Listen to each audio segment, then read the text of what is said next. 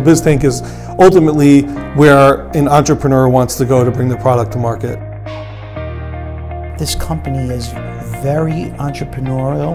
The employees have a real can-do attitude.